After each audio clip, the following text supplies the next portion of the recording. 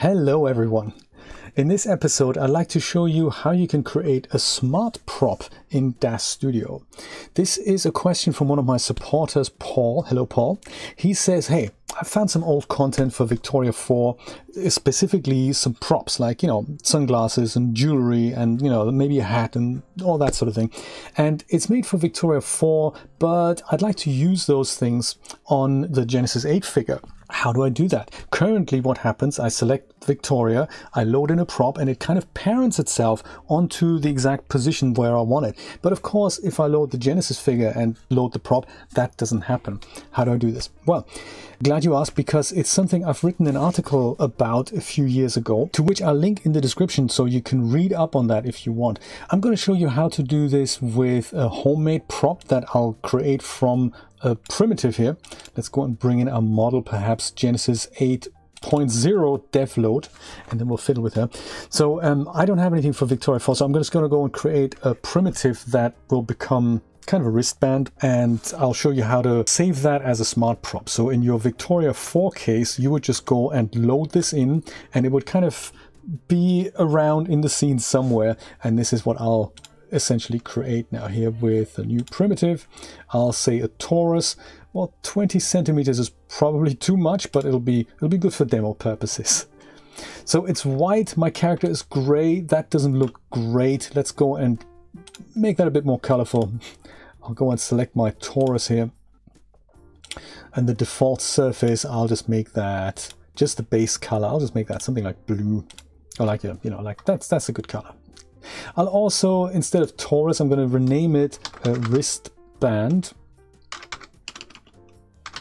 And I'll put that, I'll just say wristband L because I'll put that on her left arm. Let's go and move that into position. So it shouldn't be on the ground. It should be somewhere near where the item is going to be used. And that's probably around her wrist. So this is still fairly large. Um, yes, we need to make that a bit smaller. So this is step one. You bring in the prop and then you go and move it into place where you'd like for it to be. And you can spend as much time on this as you like. I'm going to be hopefully very quick about this. At least I'm trying. Not always successful here.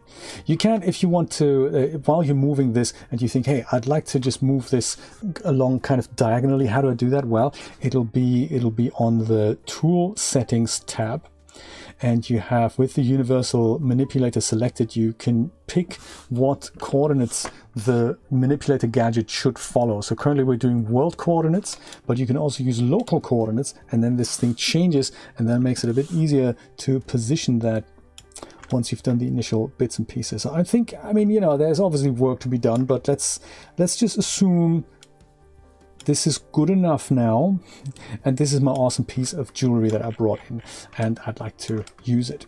Now if I go and select my Genesis figure now and if I were to go and move her arm around, I can see that the thing isn't actually moving with the arm, which is, you know, that defeats the object. It's supposed to be staying on the arm. Whilst, while she moves the arm, I'd like for the wristband to move as well.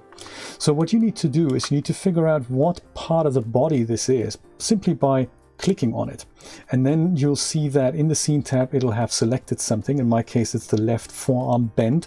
In your case, it might be different. If you have a necklace, that'll be the neck upper or the neck lower. Or in case of earrings, that'll probably be the head because we don't have ears separately rigged. In my case, it's this thing, the left forearm bend. And what I'll do here is I'll go and grab my wristband from the scene tab and I'm going to left click and drag it onto that left forearm bend. And when I do that, it just goes and pops into place here. And it means it's now parented to the arm. So the cool thing is now if I go and select another part of her body and move her around now, my smart prop is now parented and as such moves along with my figure, which is great. That's exactly what I want. That's kind of step one to put it into position and you can now use it. But of course, if you were to load in a fresh figure, you would have to do all the positioning again and you'd have to then, you know, do the parenting again. And thankfully we can save this prop out now as something that will snap into place in this spot on a fresh version of the Genesis figure. And here's how we do that. So we don't select the figure for this, we select the item that you've brought in. So in my case, a wristband. I'll go over to my content library. This is a brand new thing that is just an empty folder that I've mapped here earlier. I'm going to go under to the props section. That's just another empty folder that I've made inside the empty folder. And I'm going to go and save this as a smart prop asset. This can't be done via the little plus icon, so we're going to have to go up to the file menu and select file, save as, support asset, figure prop assets. And if you select that, then we get to see another, first of all, the where we're going to save this dialog. And that will be, I'm trying to put this into my library here.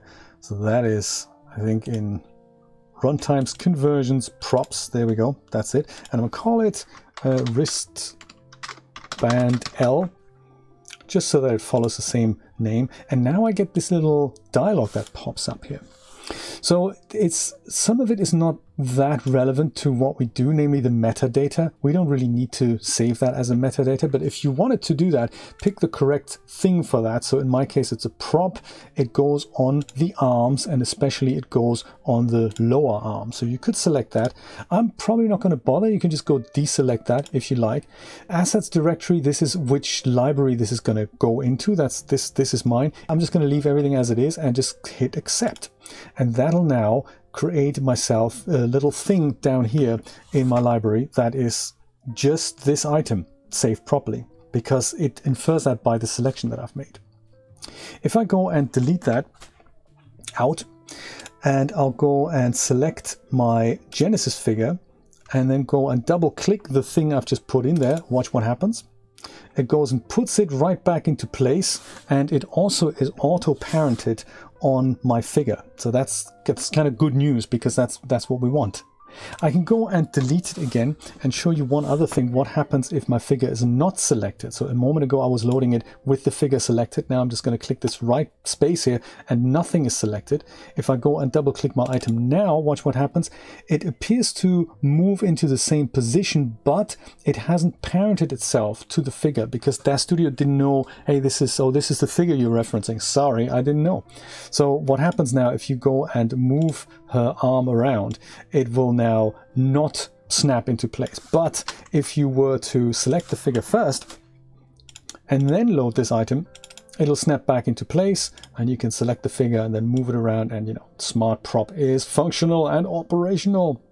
And this is how you can do this for literally every single item that you have for either a different generation figure. If you have something for Genesis or Genesis 2 that you'd like to use with Genesis 8, then you can follow the same process. Or if you have something that is completely homemade in Blender or in something else, then you can use this process, just import it as an OBJ, move it into place, parent it and save it out. Or if you have something from a previous figure generation, you can do the same thing, just load it into the scene and then move it manually into position, save it out, Bob's your uncle, Betty is your aunt. I hope, Paul, this was useful. I hope you got a lot out of it. I hope you liked it, and I hope we're going to see each other in the next episode. Take care, everyone. Bye bye.